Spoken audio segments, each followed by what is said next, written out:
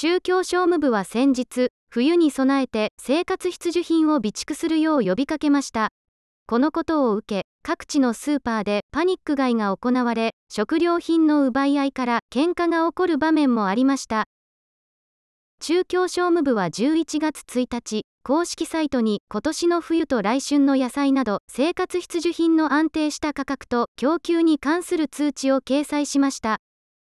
これを受け、中国各地のスーパーではパニック買いが多発しました。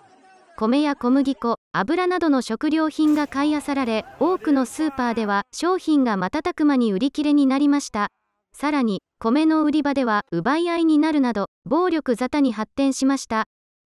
北京市通州区の住民は大紀元時報の取材に対し、買い占めの原因を商務部が出した通知のせいで、みんながパニック状態になったからだと語りました。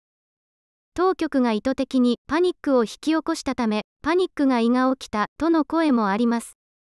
この事態を受け、中共当局と官製メディアは11月3日、現在、物資は十分あり、供給も保証されているとして、火消しに走りました。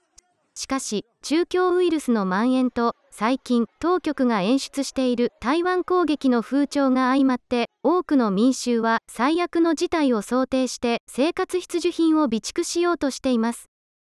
NTD ジャパンがお伝えしました。